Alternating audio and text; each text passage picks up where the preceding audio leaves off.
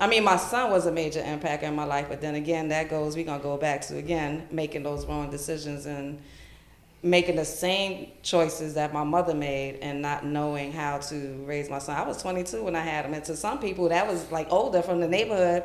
People having them like 16, 17, but to me, when my son 20, turned 22, I was like, yo, I had my son at 22. Like, yeah, I was grown, I was out there, but I wasn't grown. I was Right. still mentally like not knowing what Yeah. the fuck to do. Like I Mentally was, immature still. yeah. But you you don't think about it. So really like um, just realizing that things were not changing. Things were not going good. A lot of just, you know, things constantly happening. And you just gotta realize like, all right, so it's not everybody else. It's not what's going on, what happened in my childhood. Right now it's what's going on in my life right now and the choices that I'm making.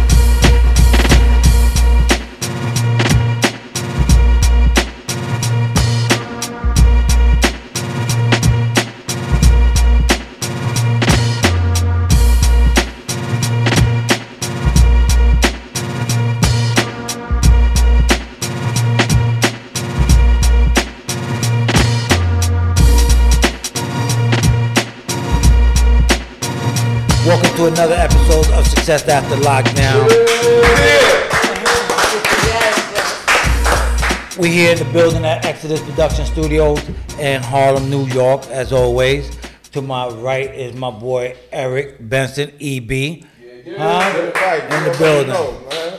Uh, today, man, we have an amazing, extraordinary uh, guest today, Special. man. Special, special guest. This is actually more like a reunion episode over here of 188th and Marion Avenue. Uh, BX, BX in the building. like this, this show, this show here is definitely one that's gonna be special. Uh, you might see some tears, you might hear a lot of laughter, but that's a lot of truth to what's gonna go on today. I want y'all to all understand and listen, man. You, we are childhood friends that have a past and looking forward to a future together and moving forward in what we're doing in our lives. And with that, I want to introduce everybody, Kimberly C. What up?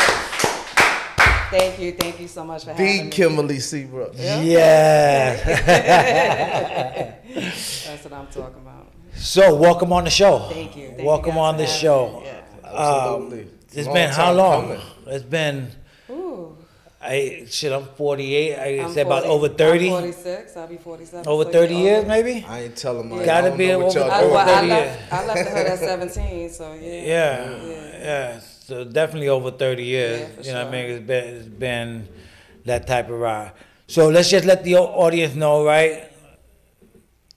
They already know, but let's tell them where you from again. Let's tell them So where again, you from. yes, 188th and Marion. Y'all better recognize. BX in the building. BX, yes. Yes, absolutely. Tell us, Kim, because they all know how what we tell them about growing up. Tell us about growing up in the hood over there. What was that like for you? You know, I always talk about the difference in what's going on in our hoods and our communities now is that we don't have community. Back then, growing up, we ain't have no lights. We was able to take the extension cord from our neighbor's house and plug it in, and we be alright. Right. Um, if we didn't have a meal, I was able to have one of my neighbors feed me. You understand? So, um, another thing, if we doing something we ain't got no business doing, I know Miss right. Carol gonna kick my behind too, Uh-huh. and I'm gonna run, and I ain't gonna disrespect her, and I'm gonna make sure I get my together. You know, No can we curse question. on here? Like- No, you can That's say right. whatever okay, you I'm want. gonna get my This shit together. You know, I'm trying to be respectful. So, um, no, be you, So, man. you, so did you grow up in a single parent home? Or, or, I did grow up in a single parent home, um, And how but there was were that? multiple men, you know. Um, growing up, I did have my biological father in my life until about 12, and then he just kind of left my, my life to live with some other woman. But um, had my mother, then in addition to that, had somebody else as, you know, a part, my mother's partner, and somebody else as my mother's partner. Right. And then, um, but when I was like 14, my mother did marry. She, um, growing up, she was also on drugs. She was part of the crack epidemic, you know, um, as many other mothers in our building, in our neighborhood. and so I, I never, it's never to disrespect her. Me and her got a great relationship now, and she's doing amazing. Um, but yeah, she married, had gotten clean, so sh- it's been a very, very long time. My father did, my stepfather, the one who who she was married to, passed away in 2008. But um, All right. overall, mom is doing good, and I'm proud of. her. So how was that for you? Like, um, just the experience of growing up, you know, in the Bronx Mm-hmm. with the single family, you know, single mother, and just the all Crack the dynamics, yeah, the, crack crack era. era, I all mean, the it was, dynamics. it was on difficult. It was difficult, but then again, it was easy, like I said, because we had each other, you know, and that's what made all the difference. So even if I didn't own a pair of skates, or if I did own a pair of skates, I'm giving my homegirl another one, and we riding down the hill with one skate. You know what I'm saying? So we make the best out of it. Like so. Um, although it was challenging, I think it was also an amazing experience to have had community, which is what again I always emphasize that we don't have now. So that's what. Go ahead. So that's where I just want to just uh, speak about the influences in your life. You know, um, back then in our lives. So I always hear a lot of people talk about the bad influences that we had. You know, um, could you identify or remember any of the positive influences that were running around in the community as well as bad influences growing Um, up? you know, I don't know what's good and what's bad. You know, it's like what what's good for someone may be bad for somebody else. You know, That's I- true too. And I said, just because my mother was a crackhead doesn't mean that she wasn't a good person either. So um, I think, again, the good that I got out of it is being able to go to Yvette, shout out to Yvette, and her taking care of me when my mother couldn't. Big Um, shout out to Yvette. you know, We um, you. and the whole her whole family. Um, I really can't say the positive that was in my life were teachers, and that's why I'm a teacher today. Like that's who it was. Congratulations on that too. Yeah, for real. Yeah. like I know growing up for us in the neighborhood, like going to school wasn't really something that I would say ninety nine point nine percent of us actually did. Or if we did go to school, we really didn't pay no attention. I know I didn't. Oh yeah. Like how how was you able to maneuver and stay focused through school with all that going on? Like all this I didn't like being home. mm, So I, I kind of it was like off and on for me. Elementary school was amazing. I was in PS eighty five. of course. performing PS85. arts class Yeah, from right. like fourth, fifth, and sixth. Yeah, so I was in the performing arts class, and that kept me going because I Mm. love performing. I love doing arts, and those two teachers, Miss Copsing and Miss Kravis, held Mm. me down. When my mother couldn't buy me a uniform to perform, they took care of me. You know what I mean? So again. Absolutely. That's where the teachers came into my life. Junior high school was different. That was a whole different animal. my first year, you ain't never seen me in school. I was like, what? I could go outside somewhere? Like, so I was out. Um, Where you went?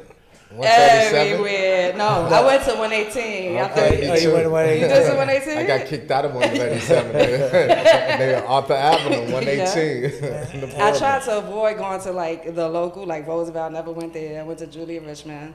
Then I got kicked out of Richman. But then I went to Bronx Regional. So that was a smaller school, alternative high school. They um, they were like our parents. I actually was just a keynote speaker last week at um, the high school. Yeah, that I graduated from. congratulations on that, Awesome, too. Yeah. for real. We're definitely gonna get into that. Yeah. So, um, PS eighty five. You remember Mr. Good? Yeah, yeah. Dance Mr. teacher. Mr. Good, spank you with the ruler. Listen, that's what happened to you That's in right. second grade when you Yeah, first came. you tried to remember? look under my skirt. Uh-huh. yeah, she remember that. Oh, swear. because you had, you had just came, like you didn't come like in the beginning. Yeah, You I came. in the I came late. I got Yeah. kicked out of PS eighty five in the fifth grade. Okay. Then they sent me to one thirty seven. Okay. Never graduated. Went to jail from there. Okay. When I came home from jail, they sent me to Walton High School. Every school that I went to, they started a special class. I don't know if you remember, but they started a special class in PS 85 Mm. between me, Ewok, and Leroy. Mr. Solo, they put Mr. Solo to Uh-huh. be our teacher. Behind the auditorium upstairs, there was a little The room little where they had the chairs and everything. Yep. Because we were so bad. They had me, Alan um, from 188 from Valentine, Ewok, and Leroy from Mm. the block. Literally had to go into that school in the back of the auditorium and sit in that class from 8.30 in the morning to 3.30 Wow. with no air, no window. It was like, yeah, I got to go to the bathroom. You all go together at the same time with me as an escort. That's crazy. yeah. Yeah. It was prison for me. Yeah, I was just gonna say It was- pretty it much was- the same type of environment. And I wonder yeah. why I always adapted to prison. Yeah. Yeah, Anyway. No, it's it's Well, it it's was a serious thing. It, for it, it, it, it really was. Yeah. And so, if you could uh, elaborate a little more about why you kept that that that guidance in yourself and that focus of, you know, becoming a teacher. You know what I mean? Oh well, I'm not like a regular teacher. Yeah. You know, I'm a different kind of teacher. I'm, You're a, a I'm a poet teacher. I'm a poetry teacher, and um, but I also include like conflict resolution. I include emotions. I include in dealing with what's going on in our lives. So it's not just like I'm here saying A B C one two three. No. But it's I a whole think you different- even more of a Yeah. regular teacher I'm- than a mhm, regular teacher. right, you know what I right, mean? right, what you, right, what you bring to the table. Yeah. I You mean, know? it, I think it's amazing how, you know, from a lot of people growing up in the neighborhood, you know, everybody's life went separate ways, and I would like to consider, you know, I would consider the block as a, as a, a lost hope for some of the kids growing up. Absolutely. A lot of us are still stuck there. A lot of uh, haven't grown mentally Right.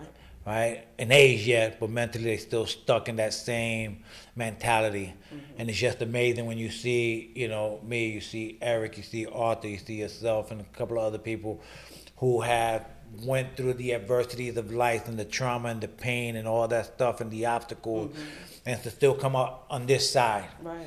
right? Because it swallowed a lot of people. Mm-hmm. A lot of lot. people. And, you know, to, to be here today, to be sitting down and doing something positive with the community, to give back, to have Indeed. saying, you know, I've been through this, but still overcoming and still Mm-hmm. pushing forward, not le- using it as an excuse, Excuse, right. to continue to be bad and negative and Mm-hmm. be destroyed and destructive to your community. Indeed. All right, and I think that's just that's just amazing. Um, and, and with that being said, uh, you know, tell me your last thirty years, like what besides the Oh, school, like I know you've been through some stuff. Yes, Let's talk about let's talk about that because I know you overcame a lot of stuff, right? Um, let's let's, yeah. let's, let's so, um, you know, growing up, my mom was in an abusive relationship. Um, one like real serious, where we had to leave Marion for a little while, go to shelters here and there, and um, so in return, you never kind of want to grow up to be your parents, right? But you end up being in the same situation.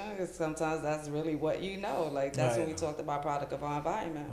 And um, so been through abusive relationships. Um, you know, I had cocaine issues too. I had my run with cocaine, and um, those are like the real major things. And just not knowing how to love yourself. That's a major one. Absolutely. You know, and learning how to unlearn things that we are taught.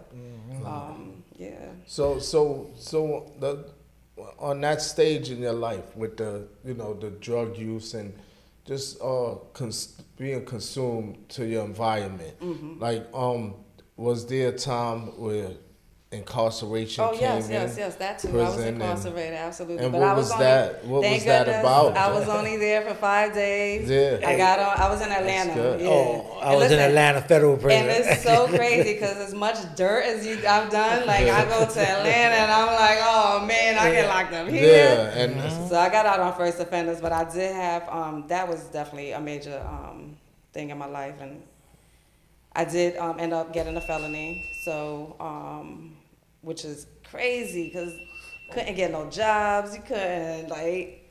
It was absolutely insane. It was just Yeah. yeah, having that on your back is definitely challenging, but you just gotta keep So- pushing forward. So so again, like mm-hmm. and thinking about that, mm-hmm. because I always look at in life now from you know just from my upbringing and me being that troubled youth and going through the transition and taking that self introspection of myself. Mm. So it was unfortunate for me that it took 25 years to life mm-hmm. with the with the judge hitting that gravel and, and giving me that sentence. Mm. However, that's my blessing as well. Right. Because that was the time that I told myself that you you need to do better with mm-hmm. yourself. So I want to ask you like um do you remember that time in your life that pivotal moment where your growth and development begin to I guess being picturized or mm-hmm. picturized with yourself and and knowing that because we all I think we all have that moment where we like yo enough is enough. I need Yeah. to start doing right. Absolutely. It wasn't even after I got on probation because I mean, from, Yeah. um, because after that I still was like drinking crazy. Like I couldn't smoke, so I was like, no weed. I was like, oh, I'm gonna hit this bottle. I, was, so I started drinking more, um, making wrong decisions. You know, having I have a son too. He's 24 years old. Um, Shout out to him. yeah, What's his name? name? It, it, he's D. he's a, he's a D, rapper. right? He's a really um, well-known Bronx rapper, but um, D. Okay. Money, yeah, that's my son. And uh, he don't like me saying his real name. He's just so he's special, a really good special. Yeah. Um, yeah, we have a great bond. So, um, I mean, my son was a major impact in my life, but then again, that goes. We're gonna go back to again making those wrong decisions and making the same choices that my mother made and not knowing how to raise my son. I was 22 when I had him. And to some people, that was like older from the neighborhood. People having them like 16, 17. But to me, when my son 20, turned 22, I was like, yo, I had my son at 22. Like, yeah, I was grown. I was out there, but I wasn't grown. I was Right. still mentally like not knowing what the fuck to do. Like, Mentally was immature still. yeah. But you you don't think about it. So really like um, just realizing that things were not changing. Things were not going good. A lot of just, you know, things constantly happening. And you just gotta realize like, all right, so it's not everybody else. It's not what's going on, what happened in my childhood. Right now it's what's going on in my life right now and the choices that I'm making, you know. Well put. Um, all about the energy that you keep, the people that you keep in your circle, the places that you go, and the things that you do. And those are the times where you be like, okay, I'm homeless again. Like, what the heck? Like, ah, you know. So, Right. Yeah, and, and I and I think that at, at, at a given point in anybody's life, right, growing up where we grew up at and how we grew up, you know, we deal with mental illness, health trauma, and a lot of stuff like that. Um, I just want to say. I got over 10 years clean, Okay, no drugs, no alcohol, Plus, uh, nothing in my system. You know what I mean? Um, Excuse haven't smoked a cigarette since November 21st, 2019. My man. Uh, yeah, it's been four years for me. Yeah, and, and, and I say that because I know we. 23 for me. Yeah. That's You know what I right. mean? Yeah. And, and it's a blessing because these are some things that was coping skills for me, right? Growing up, it, it was sex, drugs, rock and roll, and all that other BS. Um, trying to self cope with a lot of things. Uh, and I know we dealt with a lot of trauma. And I tell a lot of people like they don't understand like my life when I was growing up and some of the choices that I made. And I, I say it looked like we was put together in neighborhood, right? It looked like when we talked about perception and how you looked at it, right? Even though we was poor and even though we was from the inside out outdoors things was fucked up and bad. Right. But we still made the best of it. We still had neighbors that still tried to look out for you Exactly. you know, and, and, and, and, and some little guidance, right? Mm-hmm. Whether we took it, whether we accepted it, whether we applied it, is another thing. Mm-hmm. But we had that sense of community, right? Not like today. How did you deal with a lot of trauma um, in your life? How did you deal with, like, that's a lot, right? yeah. Like, Um, yeah, because I mean, we're talking about being um, sexually abused, you know, then as a child, and not being able to tell anybody. You know, everybody's like, you don't say nothing. You whatever happens in this house, you Yeah. keep it in this house. Um, I even said that in my speeches, like you know, I was told to quite often to shut shut Yeah, up, shut up. don't say nothing, or they ask you a question and then they tell you to shut up immediately. Yeah. you're like, what the heck? So, Yeah, you know, you feel like you never have a voice, and that's another thing what I teach the kids, like y'all have a voice. That's right. Don't let nobody tell you you ain't got a voice because you got a voice. And um, it, it was it was rough, you know, but you get through it. You have you have you have choices, right? But if you want to succeed and you want to grow, you ain't got a choice in, in making changes in your life. So, did I miss the question? I feel like I started rambling. But- no, no, you okay. didn't. All right. Yeah, so, um, yeah, just a, a lot of a lot of things that go on in your life, and you have to figure out which route you want to go. That's know? right. That was very well put. You know, um, just just keeping on the, the, you know, I think there's different levels of trauma, you know, in, in our lives. You know, um, some that some a lot of us don't even identify. You know, when the, with those stages, those different stages, those different occurrences that that come about. You know what I mean? So how do how you worked on that, like Poetry. in your life. Poetry helped me. That's what we wanna talk about. Poetry helped me Yeah. um, a lot. And that's how, in return, I realized that that was my calling and my purpose because not just for myself, but I was helping other people. So it wasn't, it, it, it didn't even, it wasn't even about me anymore at one point. Yeah. Like, okay, now I can help other people while still healing and helping myself. Yeah. Absolutely, because I would dare to say that it really was about you. Because Mm-hmm. if you helping somebody else, that that's helping yourself. Then, because you you know, like I know, we can't help somebody else Oh, unless until we we fill our cup So up. we Absolutely. definitely help ourselves. So that's appreciated. Yeah. So so what was that that first night like when you did get arrested? You know, when you did get into custody. What was that like for you? What was the thoughts going on in your mind? Like, So I had drugs in the house, and I wasn't even there. I was at work, but somebody had snitched again. I lived in Georgia, so it was different. You know what I mean? yeah. And um, my son was in school, and thank goodness I had some really good people near me. And um, they said, "Yeah, you gotta turn yourself in." I was like, "Ah." Oh, you had to turn I had yourself to in. turn myself Oh, that's in, gotta be the right, worst. right. yeah. So, uh, That's so- crazy coming to get you from somewhere Yeah, else. to- You Yeah, know. no, but it's even worse when you have to turn yourself in. Right, right. And I had to turn myself in. It's like I'm actually gonna be a man and turn myself. Come catch me. I, I said it's a little different, Oh, right? man. So so I did, and um, all I can remember is getting, you know, the blanket and the pillow, right? Yeah, The your bedroll, the pillow, your bedroll, your bedroll. Exactly. and then looking at all these bunk beds up there, and I'm like, oh my god, what, the, what did I do? What did I do? Where's It's my kitchen? no, no, forget the kitchen. Everything that I thought about was my son. Yeah. That's it. Me and my son have a, a very great relationship. He's my only child, you know, and we ride or die. Like, even from when he was little, like, he always held me down. Nice. Um, and that's that's the only thing that was I didn't care about my job, I didn't care about my home, all that stuff. I can always get something else, you know. Um, but my son. So when that happened, they told him that I was like on a work trip or whatever, whatever. But I actually, like I said, got out in five days on first offenders out there because they realized I didn't have no priors and my son, I had a son.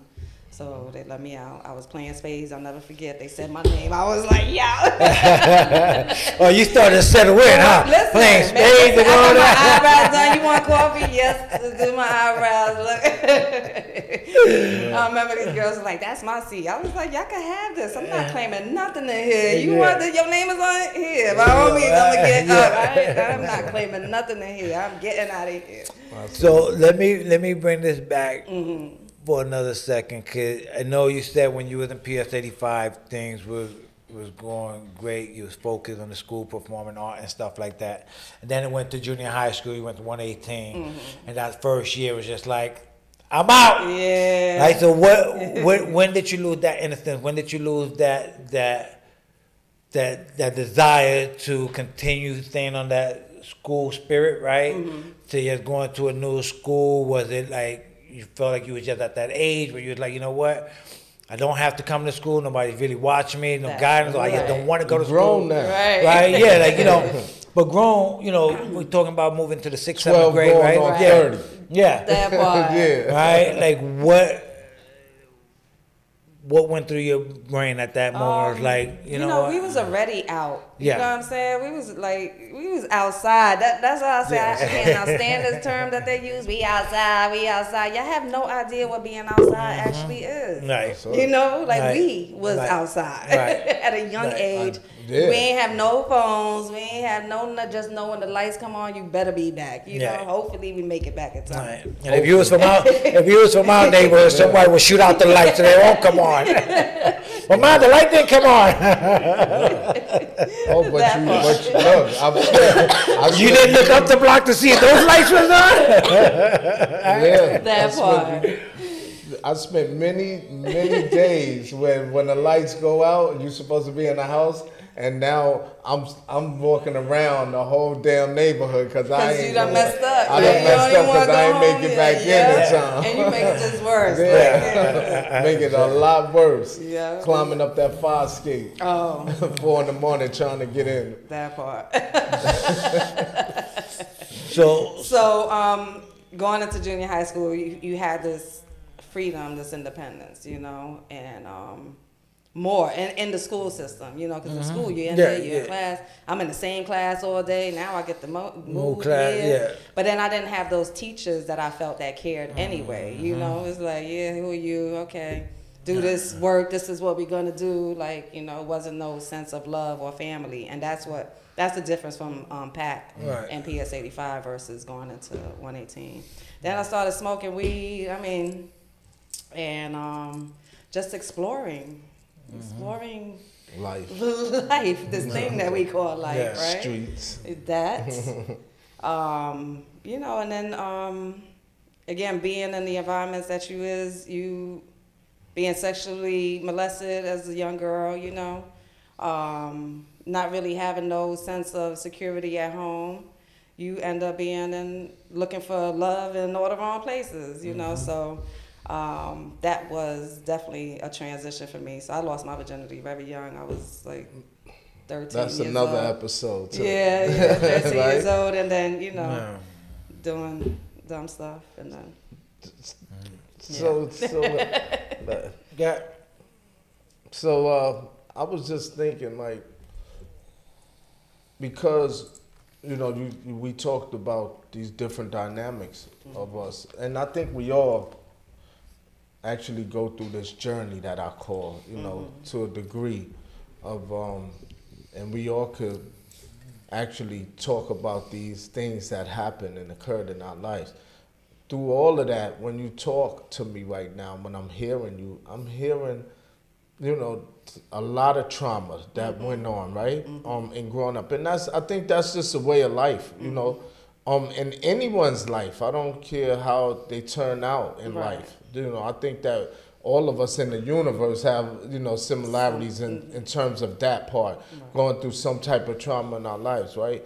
Um, and saying that, you still manage to do so much, and so I would like to hear about, you know, just a little bit about Kim and Okay. because I've seen a lot. Now I haven't. I've been away for a long time, so when I'm now that I'm here and I'm looking on social media and I see a lot that you've done in your life mm-hmm. to overcome those obstacles and those challenges that one person would have just laid their hands down. They would have dropped their hands and mm-hmm. fell into the abyss of, you know, of just homelessness and mental health and shelter and mm-hmm. but you seem to rise every time and that's mm-hmm. what that's what I love about thank you. you. know what I mean what you're you, doing. So could you I just want you to just talk about, you know, things that you've been doing in your life, Um, man. Yeah, so You know what I I'm started my, my it it started off with poetry, like I said, and Yes. shout out to Amari in Newburgh.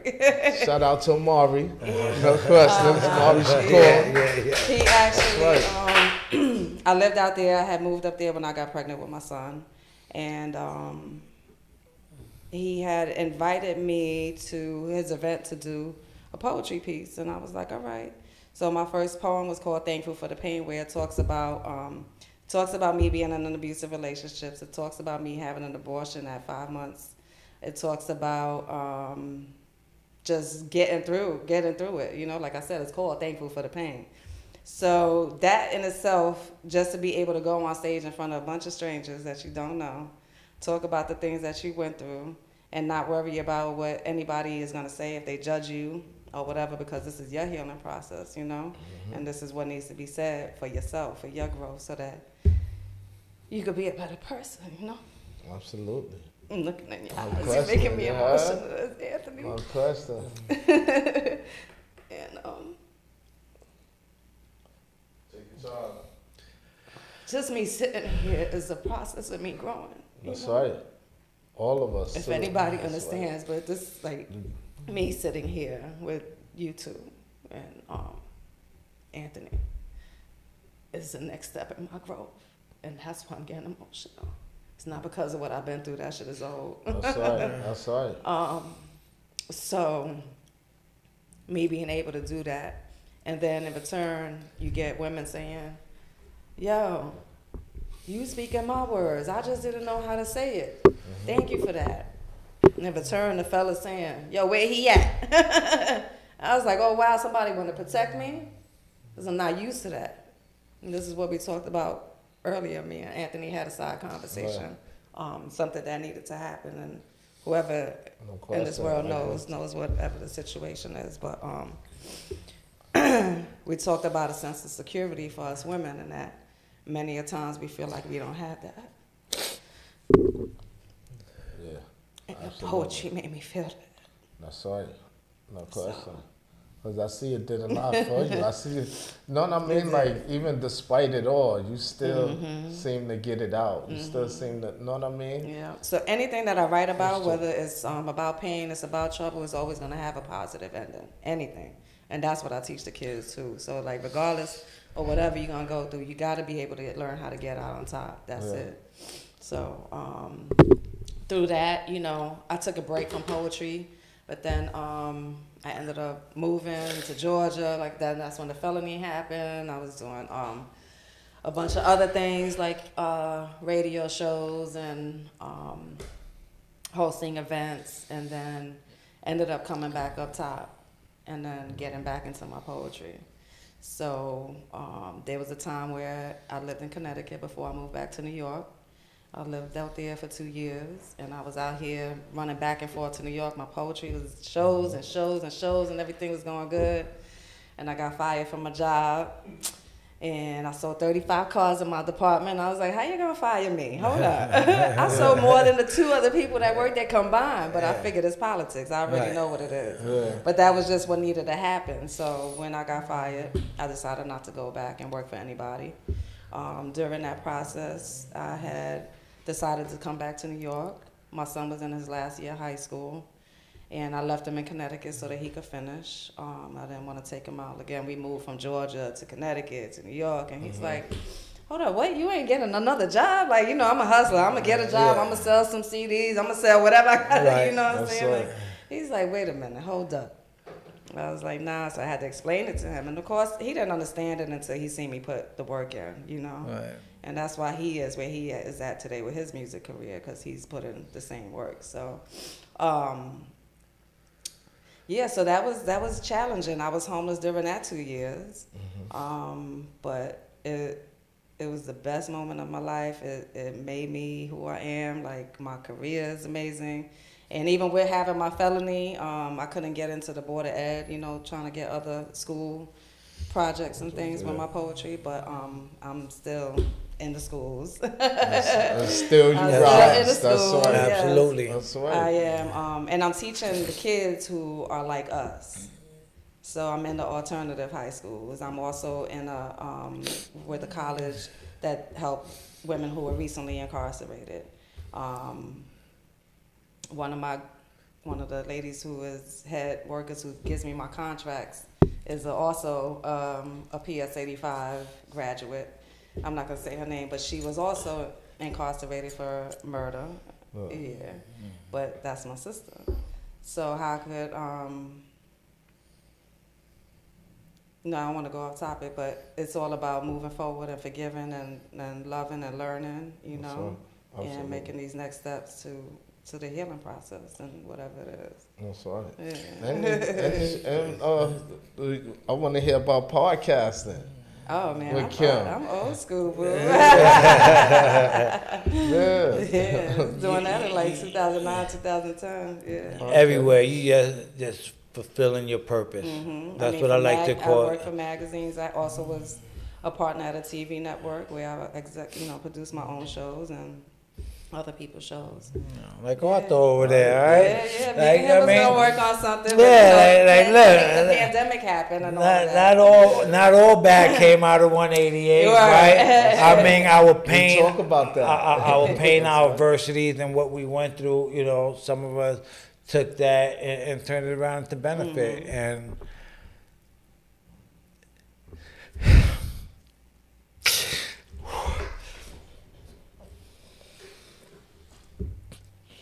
Yeah, take your time. But I do, but you know, I do want to say like, like, just like this moment for me is like really personal and emotional as well. Just having you here with us, mm-hmm. like it's just been a blessing for me, right? Because I live the moment that I didn't think I would live this moment. So I never thought I was gonna live 25 years in prison. You know, I wound up living 27 years and six months in prison. Um, and, you know, um, that allowed me to, to prepare for life, life's journey now out here. That allowed me to prepare for this universe that I call the universe. You know what I mean? And, and I, when I look at it, I just look at, you know, I look at all things tied together, you know, whether whether we go you go this way in life and and go this way and I mm-hmm. go this way, mm-hmm. you know, at some point there's a connector. Right. And and we and we connect right back again. So this mm-hmm. moment for me is like it's overwhelming because like I know who I was. I never I never got the opportunity to for my mother my grandmother. We talked about this, uh, you know, the other day, yesterday. You know, this brother brought up on that we interviewed about grandmothers, you know, not mm-hmm. getting enough attention. A lot of our grandmothers was there. Mm-hmm. My grandmother was there for me when my mm-hmm. mother was out in the street doing drugs, you know, and I never got that moment to show them my transition in life. So that's, you know, I know they lived through me, you know, and so I take those opportunities now to just, you know, celebrating my past and, and seeing the Kims, you know what I mean? And whoever it is, because I don't, even, you know, with those people that stuck in time, I don't, you know, I don't have a bad bone in my body to say about them, you know, or anything like that. Because I think this is just how the universe works. It's, Right. it's what it is. Some people, everybody ain't gonna make it. Some people are. Some mm-hmm. people are gonna be successful. Some people not. You know, um, it's what you choose. It's those Right. decisions that we make at the end of the Right. day. You know, and um, I know that I made, and I told me and you talked Mm-hmm. before we actually came to this moment. You know, and I made those those decisions in life that you know I will forever regret. However, I think that those decisions that I made also, you know, um, is a part of of who I am today. You know, the fabric that I I've become. Absolutely. You know, and uh, and just knowing that today, you know, I can say that, you know, that you will never hear a B word out my mouth. I don't care who used the word for females as bitches, part of my language. That's the only time you'll hear it. Is when I'm, you know, I'm giving an example of it. But I don't use those words no more. The word in. Some people still use it around me, and that's all good. That's they, that's their perspective. But me, that's two of the things that I chose to wake up to Right. when I went through this transition within myself after getting 25 years to mm-hmm. life mm-hmm. was one thing you're gonna take out of that vocabulary of yours is that B word and that N word. Mm-hmm. And I did it. Never to use it again.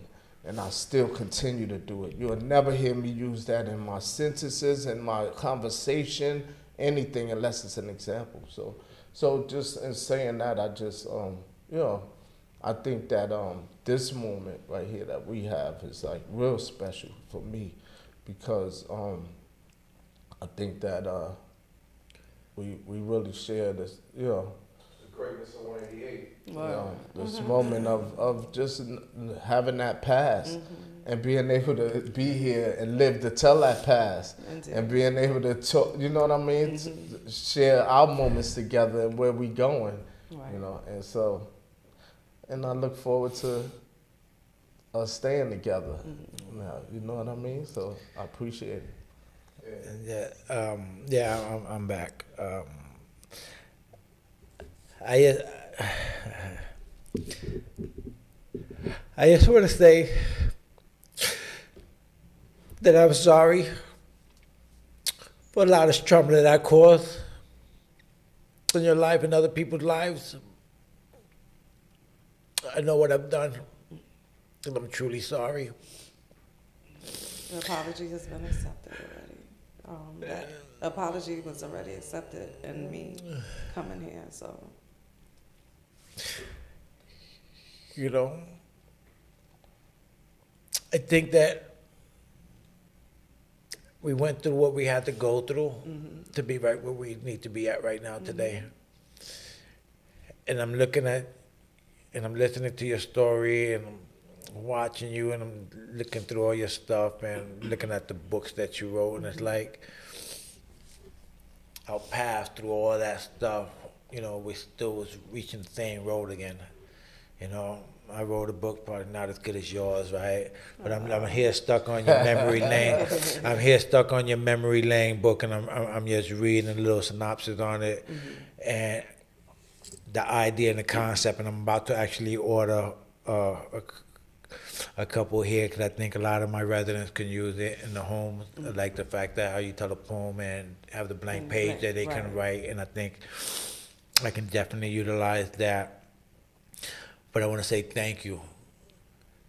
Thank you for showing up because I really didn't know how much pain that I was holding on to by my mistakes and bad choices in life until you walked into this room.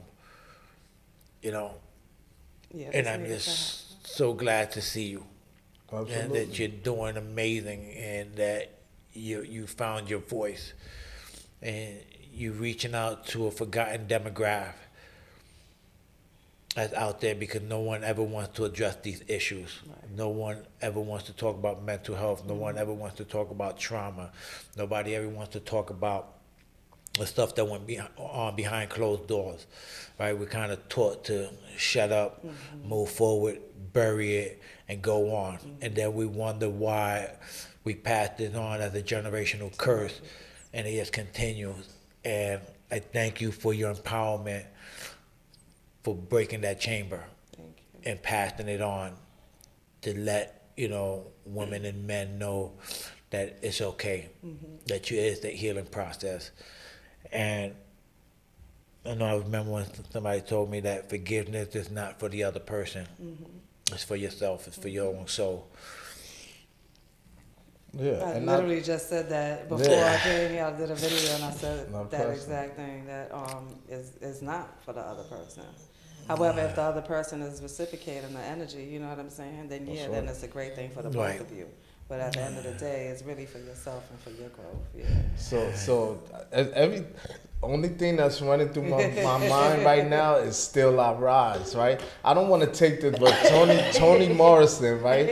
Um, I believe that she wrote a book. I don't know if anybody is familiar with Toni am Morrison. That, but and it's still I rise, and so I don't want to take those words like they mine, but I remember that you know that like I'm embedded with that that that those words right now because I see that even through you know all the adversity and all the trauma and everything that we all went through individually, we still rose for the occasion. Know what I'm saying? Indeed. And we we showing up like she showed up today for us, and we showing out. You know what I mean? by by Yes. staying together and and doing uh, greater things in the future together too. Well, Anthony, I also want to say thank you for your apology. Um, it's definitely heartfelt. Um, congratulations on your growth and your sobriety and everything that you're doing to put out in the community as well. And it's just all about moving forward from this point, you know? thank you You're thank you that I needed to hear that you know because I'm not the same person I'm truly not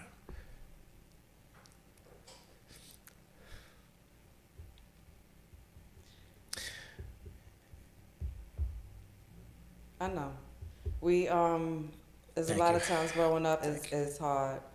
We look what we went through. We had parents who were messed up. The community was messed up. It was drugs all over. You know what I'm saying? Poverty. um, these demons that are attacking us because that's what it is. We're being attacked by demons, you know. Um, we don't know it. We think that that's just you know something that that's that's the good that's the good life. That's how we supposed to be, you know. Um, And our It- decisions are premature, immature. yeah, during yeah. those we, times, so. we we don't know. We don't know better, you know. And drugs, you know that. There's just so many factors that happen growing up in, in our lives that. So, so what Kim has going on in the future? ah. what beholds? Yeah. So, well, you know, like again, I'm, I'm teaching in the schools, which is such an amazing, amazing um, accomplishment. Because during this transition, when I told my son why I was doing what I was doing, I said, I don't just want to be on stage. Like, that's not my goal. Like, yeah, I'm going to be on stages, don't worry. But my goal is to have my workshops in schools. And that's what I did. My first school that I got into was teenage girls who were incarcerated. I was in in Nice. a, in a group, yeah, they were like in a group home and also in the system. So that was my first one. Um, continuing to you know do books for children's for adults. Um, I ha- now I just published a, a children's book called The Good Look Kids because I'm known as Yeah, I'm, I'm known as that. I'm known as Kim Good Look Seabrook. That's my Yeah. that's my That's stage right. name. So, but now it's it's a brand. It's not even you know. So my company is the Good Looking Books. Yeah. Tell me about tell me about those characters. I just look at. By the way, I just ordered I'm ordering just I just ordered ten books for uh, Oh, Memory you. Lane. Thank you. But tell me about your characters. Okay. that so one. I also work with those on the spectrum, those who are autistic. Autism. Yeah. So that made me come up with this book. So the book is called The Good Look Kids. There are three kids who have superpowers, but they also have disabilities. One is blind. One is um, one is blind, but he sees through his third eye, and he can see what's going on, like if the kids are sad or you know whatever. And then Right. um, we have Queen, who's in a Wheelchair. wheelchair, but she also has her speed of the power from the wheelchair, her crown. And then we have Lefty. Lefty can't talk, but he speaks words and helps with good energy from his heart. So it, um, yeah. Mm. Yeah, so I they help. I love that. So they help um, kids who are either being bullied and who are like having problems at home. The next book would be about problems at home, but this book is super special because it talks about a young kid by the name of CJ who is an actual kid who was getting bullied. Now, initially, it was a girl named Jessie that no, you know, just a regular character. But when I went to go speak at a school, he was in the class, and I know him. Like his best, my his aunt is my best friend. Also, we went to high school together. She's not from the block, but her Denise knows everybody. Like so, she's like my sister. Like today, we called each other. So I said, "You my nephew." He's like, "I am." I was like, "Yeah." So I had to remind him because they lived in Connecticut for a while. But anyway. Nice. So um, when I spoke to his mother the evening, and I was like, "Look who I seen in class," and then we was taking pictures, and all the kids were like, "You got somebody famous in your family?" Da, da, da. But his mom told me that he was getting bullied, like it was really bad, and because of his weight, that he wasn't eating. So I turned the character into CJ, and now he, Nice. um, yeah. When I had my um, book reading just the other day, I had him come and speak to the kids, and it was just awesome. So That's that's, nice. what, yeah. I, I plan to do a few more events with him and letting him speak out about bullying. Uh, and I also want to take this moment too to really to really congratulate you on that being that keynote speaker. I know I can feel how important that was for you and how necessary that was Yes. too. You know what I mean? Because that just solidifies, you know, you as a person, a human being, and, and your growth and development. Mm-hmm. Yeah. and an You know? entrepreneur. Thank you. That's right. And what, was even more special is that I didn't go, go to my graduation because I had a black eye from the relationship I was in. Yeah, yeah, So, you selling. And I, I was And you like, still got the yeah. opportunity. And I was one of those students that everybody loved, you know what I mean, like my whole clique. So it was, and the girl who came with me for the graduation is Deidre, which is DJ's aunt, because again, we like that. So she came to the graduation, was supporting me, and nice. yeah, so That was um, beautiful. th- you know, 360, yeah, yeah, it was dope. Thank you, thank you. That that that is awesome and amazing how your life went full circle and you know like it's just amazing li- listening to you and we almost traveled on that same road. Mm-hmm. I don't know if you noticed, but I, I do volunteer work at a juvenile facility, go talk to at risk youth. Nice. I do a lot of stuff. I'm sit on the board and Florida called it Art of Recovery to help addicts mm-hmm. showcase their talent through music, art, and stuff like that. We do a big event, That's what's up. uh, raise money for another right. nonprofit organization. So it's actually refreshing. I was saying, you know, our, our, our path, you know, how we got separated mm-hmm. through the pain and the trauma and everything, completely different, but we traveled on the same road, just on the other, opposite side of the street, mm-hmm. right? Right. Like, who would ever thought, Right. right? Coming from where we came from, experiencing what we experienced, and with me with the drugs and alcohol and everything else like that, the in and out of prison, to be where I'm at today, to giving back to the community, trying to uplift, you know, our community, you know, our recovering addicts out there and dealing with, you know, mentally ill, ill, ill young men and women. Right. Um, it's, I, I tell people there's a difference between work and your purpose in life. You know, people tell me why you work so much, and I go, I don't work. Uh, I fulfill my purpose in life. Right. You know. Um,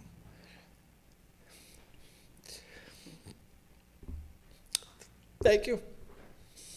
Thank you.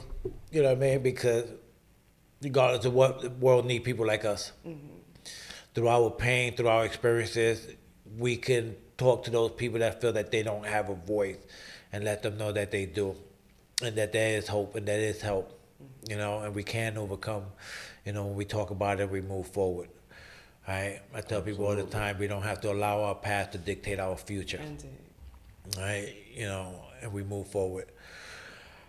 Right. Um, I, I could get And we emotional definitely here. have to have part two. We have to have a part two as well. Yeah. yeah, on success after lockdown. But, yeah, but Any- Anyway, uh, Kim, want to let everybody know how they can reach you, how they can contact you, how to get your books, Yes. um, how to support everything in your movement and what you're doing. Let them know. So, again, Kim Goodlook Seabrook. You can find me on Facebook, Kim Seabrook. You can find me on Instagram, Goodlook Seabrook.